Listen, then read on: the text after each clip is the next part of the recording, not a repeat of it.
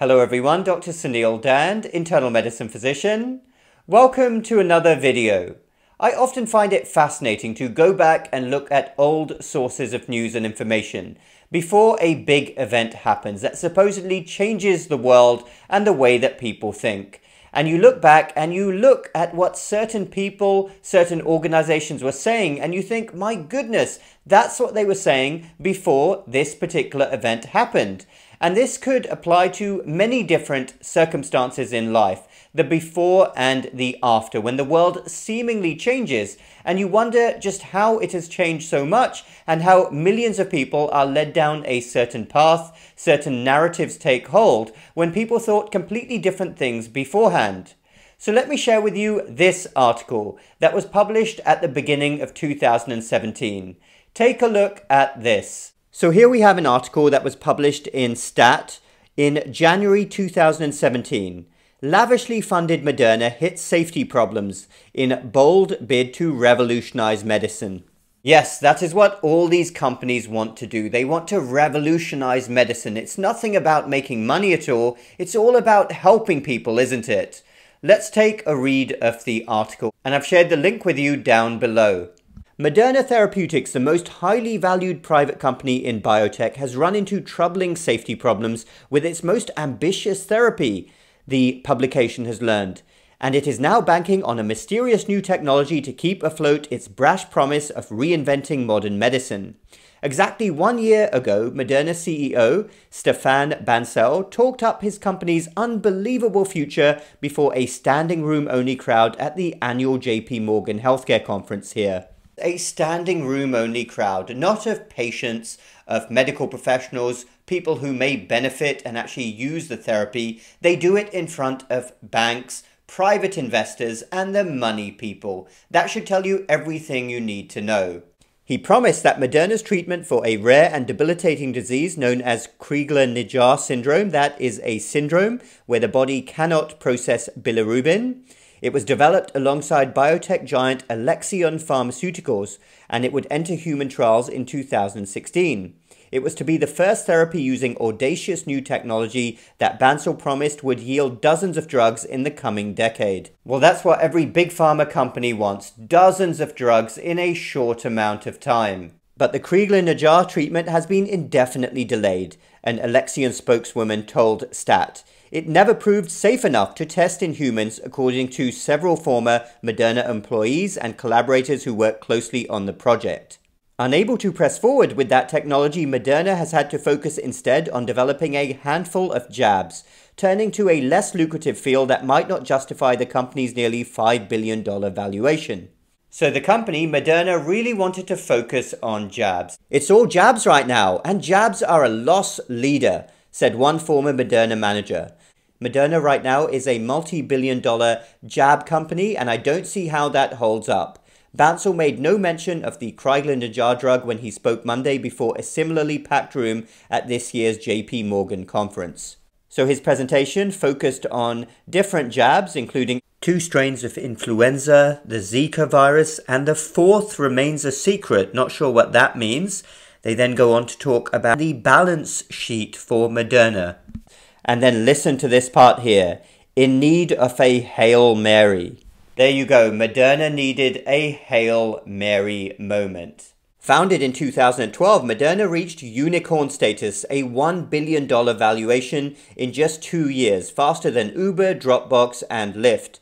So, where does mRNA technology tie into all of this? The company's premise, using custom built strands of messenger RNA known as mRNA, it aims to turn the body cells into ad hoc drug factories, compelling them to produce the proteins needed to treat a wide variety of diseases. There you go, Big Pharma's dream. Turn the body cells into drug factories. This sacred body given to us by God, given to us by nature, whatever you believe.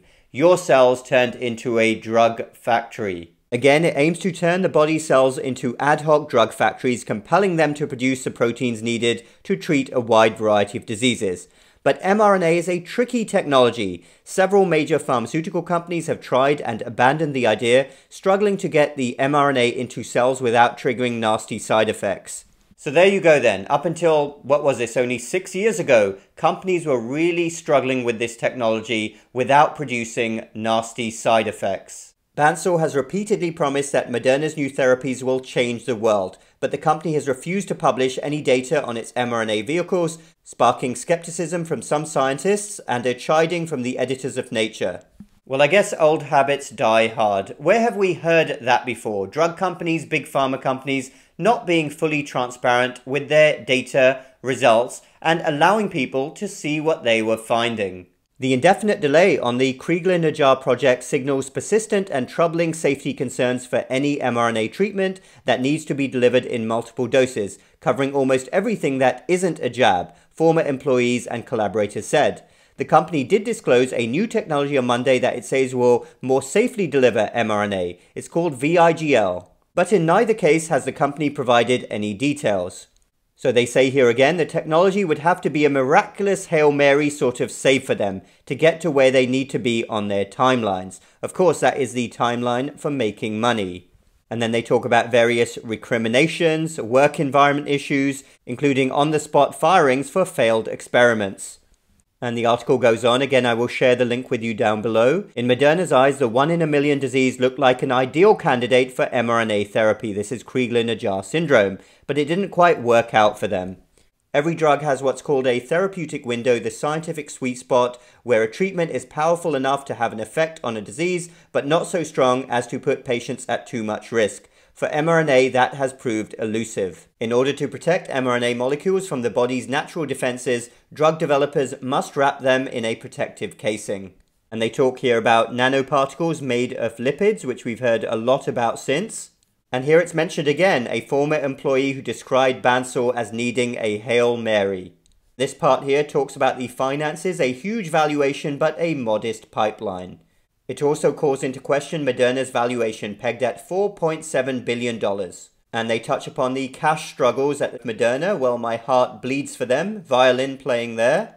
The company has raised nearly $2 billion in cash from investors and partners, but it has done so by promising a revolutionary technology safe enough to deliver repeated doses of mRNA. I'm sure that five years from now, we'll look at 2017 as the inflection point that Moderna went for a liftoff. We have a chance to transform medicine, and we won't quit until we are done and we have impacted patients.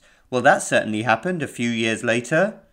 Well, we should be so happy for Moderna that they found their Hail Mary, because they did indeed make a ton of money in the end from the same technology. Well, here we have an article published earlier this year in January. JP Morgan 2023, that same company, Moderna reaped $18.4 billion in jab sales last year, projects at least $5 billion in 2023.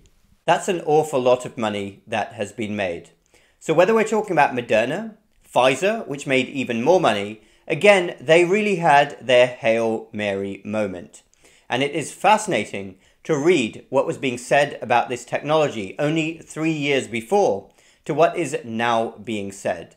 And the question is, has the technology changed? Has the science changed? Or has people's thresholds for accepting certain things changed? And has the narrative changed from the mainstream media, from the establishment, including the medical establishment? That is the question. And you can look back, not just with this pandemic situation, but other situations in life, but focusing here, obviously, on what's happened over the last few years. Look at what was said before 2020 about other things like mitigation measures, face coverings, natural immunity. It's like everybody has done a complete 180. How does that really happen? Does the science change, or is it simply people who are creating the narrative and pushing certain agendas who are changing what they are saying? And of course, if you have the mainstream media on your side, then that's really it. That is game, set, and match. Thanks everyone for listening. Let me know your thoughts down below. The Hail Mary moment for these big pharma companies. Hit the like button if you like this video and the bell button for more similar videos in the future. Also check out my online academy and my uncensored platform. Those links are down below. Remember, huge swathes of healthcare and medicine are completely and utterly corrupted. Do your best to stop the system from making you sick and do everything in your power to keep you and your family away from mainstream medicine and from doctors. That's the best thing you can do. Thanks again, and we will talk again very soon.